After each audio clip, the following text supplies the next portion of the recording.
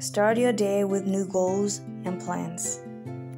Write your own story, fill the empty pages with beautiful memories. Willpower is key to success. Be passionate about your will and have a good morning. Ignore the bad and work extra miles for better results. Stop daydreaming, build a bridge between dreams and success. You have only 24 hours in a day. Don't waste it by sleeping. Never give up. You are a great fighter. Go and win. Smile and start your day. Be positive.